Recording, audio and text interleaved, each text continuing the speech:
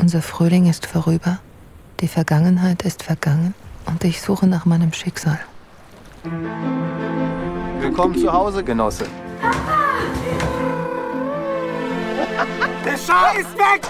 Iran wird ein freies Land sein! Ich habe dir dieses Versprechen gegeben, dass ich mitkomme, aber es ist zwölf Jahre her und ich war frisch verliebt. Wir haben keine Möglichkeit, Ihre Dissertation hier zu betreuen. Wenn du mir mit Sarah in den Iran folgst, dann nur, weil du es auch wirklich willst.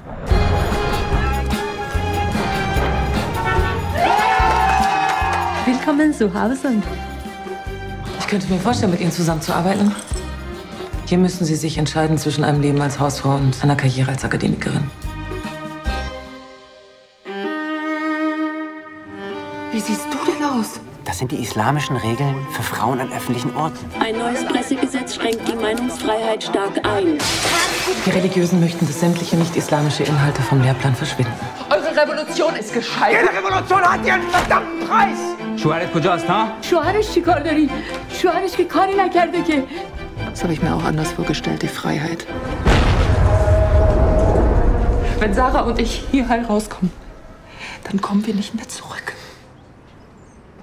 مرا ببوس مرا ببوس. برای آخرین بار تو را خدا نگهدار